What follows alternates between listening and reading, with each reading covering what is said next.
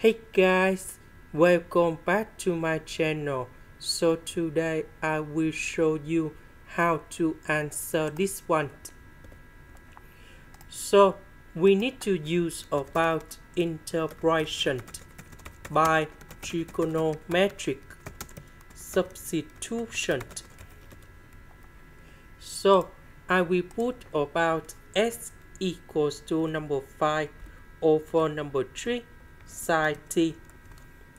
Because if I put this one gone here, we have 25 over number 9 sine t square. Number 9, number 9, we cancel 25, 25. We can do about factorization. 1 minus sine t square. We change for cosine square and later that we simplify the square root and ds. Next, we need to do first the derivative for the both side and we have 5 over 3 cosine t dt. So I will put this one gone here and the ds that is about this one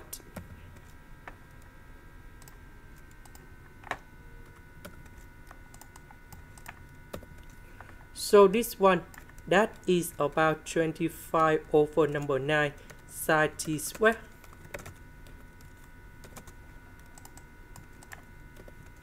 So number 9 and number 9 we cancel.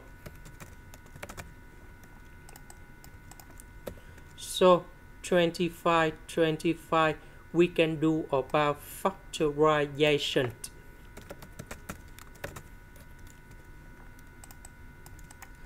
So this one that is about cosine t square. The square root of this one that is about number 5 cosine t.